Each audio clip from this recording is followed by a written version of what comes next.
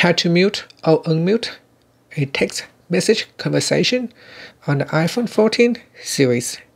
First, let's go back to the home screen by swiping up at the bottom of the screen. And on the home screen, open up the text messages app.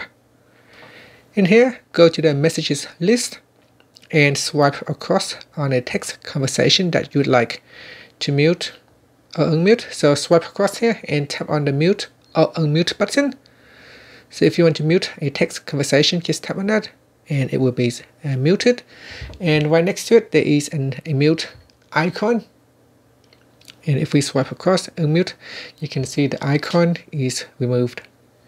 And that's it. That is how you can mute or unmute a text message conversation on the iPhone 14 series. Finally, you can swipe up to go back to the home screen.